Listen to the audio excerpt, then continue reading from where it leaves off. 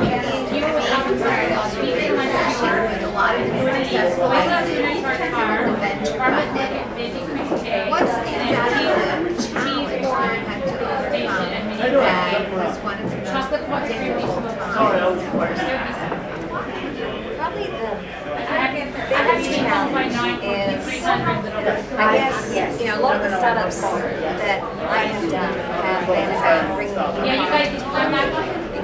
that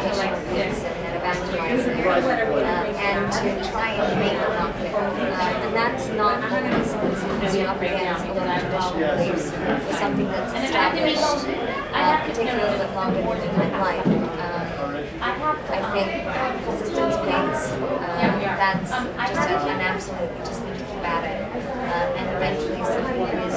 But it's really important to find the right people in the business that work for you. Uh, I think looking back at any of the startups I've worked at, know, that first year was, you know, you get to the point where this is uh, and it does eventually. But if you really believe in it, and you think it's a viable then um, it works but it, it's uh, the biggest challenge is just overcoming the traditional, yeah, the traditional mentalities, trying to bring something that I kind of to something.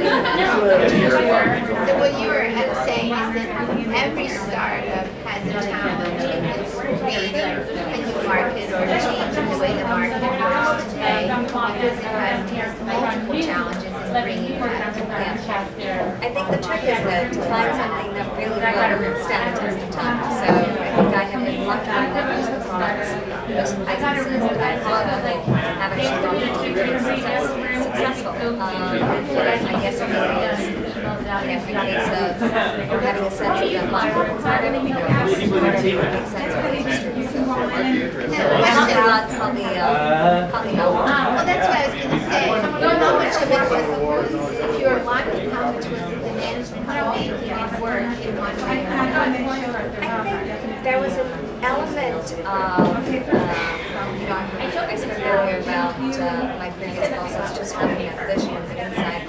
And so I think it's instrumental in any business where uh, it has a potential future is that they see, um, they have a crystal ball in terms of what the industry wants and needs, even if it may not seem like it. At the time. So it is a case of signing up for the right management team, uh, or having that insight. I've been lucky.